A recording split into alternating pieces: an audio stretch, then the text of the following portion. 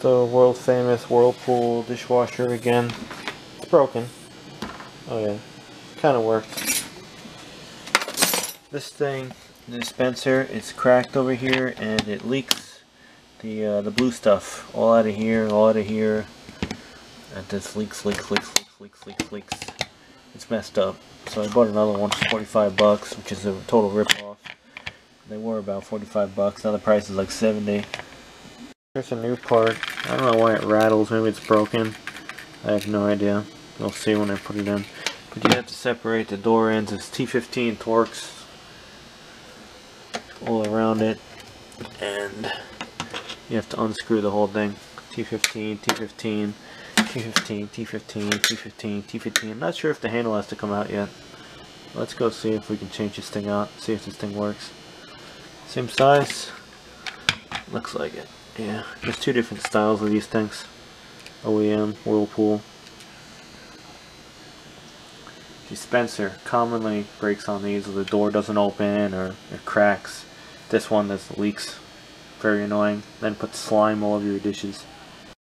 The very top screws, if you're taking this panel off, they're long. The rest of them are short. See? Long. Short. Keep that in mind. Top one only long. Rest short. These might be long too. I haven't taken them out yet. These long. Okay, long. So all along the top, long screws when you're putting it back together. Uh, top, long screws, side, short screws. T15. Say I'm changing the dispenser, I don't know. And did I tell you where you find your model number? Sticker? I don't know, but there you go, now I did. There's two different styles of these. Just make sure the, uh, the part number matches your model number and you'll be fine. Short screw. Oh, it's coming off now. I need two hands to hold it. Yeah, like everything in this house, it's all skeeved out and sticky on the sides. But I don't think I'll need to remove the whole thing. I can get to it right here on the back side. Uh, do we got? Wiring connections with clips I don't think we need to mess with. There's one wiring connection over here. And this pops out somehow. Oh, actually, clips. It's clipped in. Two tabs. One tab. Two tab. See, that's what holds it in. And three, four. Okay, there's a couple little tabs. So I might need a little flat blade screwdriver. I never even watched anyone's video. I don't care. There's a control panel up there. Interesting. Yeah, this just lifts up. You can get the whole thing off if I want to. And this for the light. Oh, cool. Goes through there. Interesting. Never taken one apart before. Now I did. PVC and it's cracked. Oh well. It's fine. Uh, wedge it open. See PVC. Can't weld that. Unless I use PVC PVC cement. Uh, wiring, skeeve. I'm not sure if this thing comes out. This connector. Uh, the wires have to go through over here. We'll figure it out in a minute. Around here, around the clip. Give it slack. And somehow it disconnects. The green is part of it. This is not.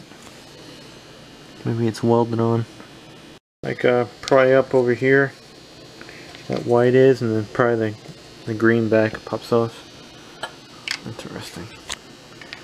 This connector not damaged. Now this is just a pry job, I think. To get this thing on with the clips. So let's see here. Pry it out. All your connections right here. One, two, wherever there's a tab pry it, pry it, pry it. Okay, this one rattles too. You see it just leaks all over the place. I don't know why.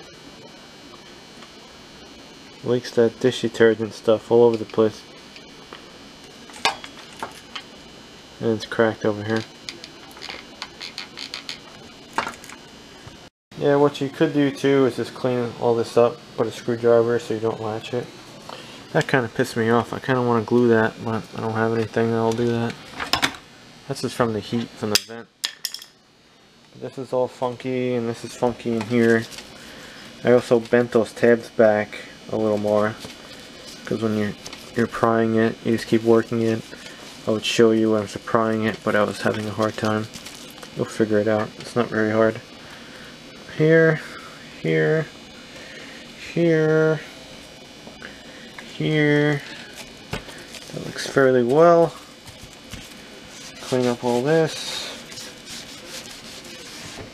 You want to reassemble this because no one cleans dishes. New unit, remember how you put it in? This side is on the right, that side left, something like that. Should just pop her in. Oh. Break that thing down? I think I just broke this. No. No. I actually think I just broke that. Oh well. We'll fix that later. That should be in, nice and tight. Fully seated. Now what did I do over here? That broke over here. Oh, I broke all this off. Okay, that's fine. That's back on. This thing sucks. But, uh, yeah, junk pile next to washing machine. Um, that should be all good. All in their flips. Wiring connection. And uh, start reassembling. This one has to go in a little more, you can tell and uh, check all our fingers out. Make sure they're all seated. Basically, push, keep pushing in from the back side over here and applying pressure until you hear no more clicking. I heard it pop like three times and now it stopped. It's all, all the way in. Then wiring connection back in. And loop your wires to the little thing over there. The holder. Um, there's that clip we were fighting with before. Boom. And we're not fighting with it now. It's all cool. Wiring's all nice. Wiring's all nice. Good, good, good. That looks nice. Okay, let's we'll put a panel back on. I hate that. I wish I had cement or epoxy for that, but whatever. It was like that. You're gonna find stuff broken on an old unit. Control board. Make sure all this stuff is tight too. One time this thing wasn't working. I'd imagine it had a loose connection somewhere once. Whoops, don't do that. That front panel isn't hinged, I thought it was. Just weird when you take it off and you go, it just snaps right back on. Start firing in your screws, don't tighten them all yet. Remember the four long ones go across the top. Still a T15, the size hasn't changed. 34. 30 dishwasher. Let's put them in all loose for now. Make sure it all squares up. And go around with your final fitment and torque. And uh, hopefully it works without leaking. It was actually loose again with those clips. I went around it one more time it made popping sounds because this whole thing is um, flexy when it's missing that back panel. This thing's messed up too. Note that how it fit before, it's warped over there. It's an old unit. Last another couple years hopefully.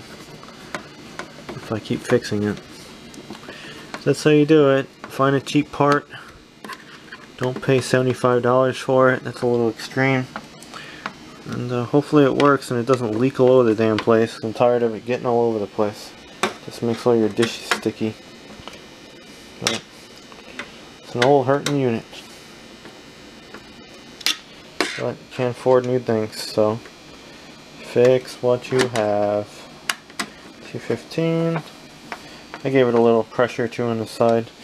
Keep it all square.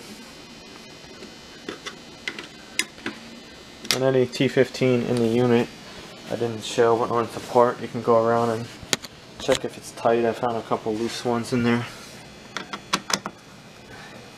like over here make sure it's tight over here make sure it's tight because things do loosen on these over time Torque spec, no idea. I'll probably come back with this with a socket and a, a ratchet and make them real nice. A warp spot right there, it's warped. And the latch is crucial.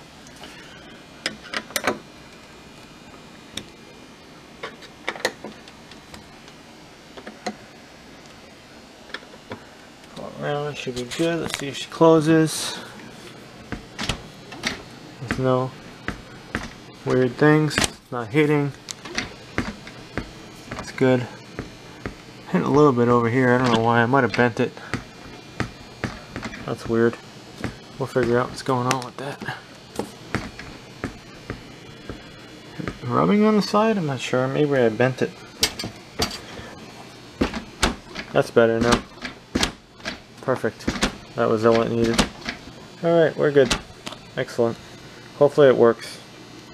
I'll do an update. It's all slimy. Wow, like new. This thing was all loose on mine too. It kept on moving around. I don't know why. It should be okay. Uh, also go around probably after a couple of runs and check all your screws again. Why not? Yeah, T15 Torx driver get a driver or a, a bit on a ratchet. That'll be just fine. Old one, I don't know, parts. I have no idea. Always leaking. It's leaking all over, all over this crap over here. I don't know why.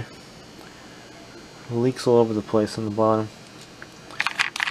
It was worn out. Time for a change. Like, comment, subscribe, and uh, have a good one. Share if you know people who fix dishwashers at home because everybody wants too much money for everything. Alright, let's go transfer this into that. See anything because no one puts the lights on, but it's fine and there's no more sticky stuff leaking out of it, so it actually works again.